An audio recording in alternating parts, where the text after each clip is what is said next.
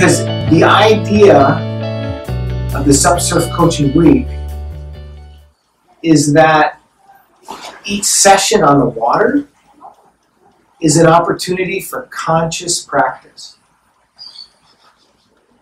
We take one or two key pieces, right, of progression. There may be 10 or 12 to choose from.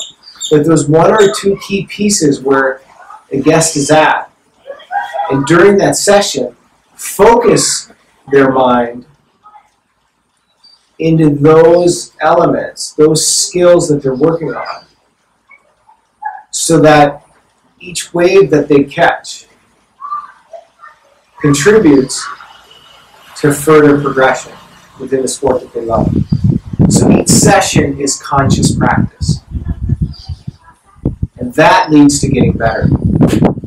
It's more than just going out for a session for an hour and a half or two hours of surfing and having fun with your bros.